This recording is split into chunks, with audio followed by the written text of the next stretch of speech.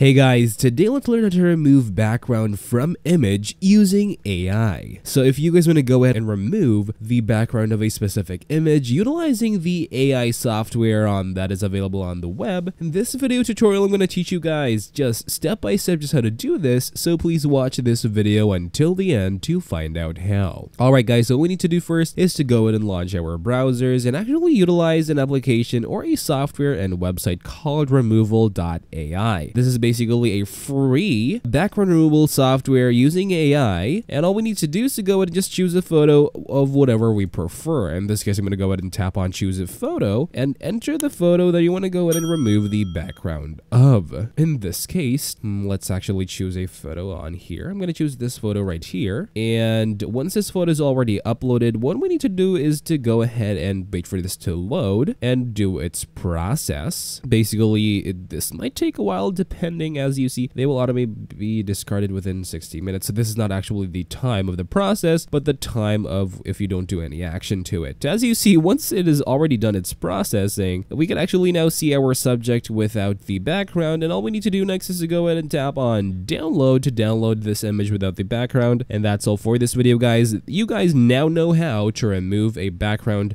from an image using AI. Thank you guys for watching this video. I'll see you guys on the next one. Please like this video and subscribe as well if you guys learned something. Take care. This is the Web Wizard.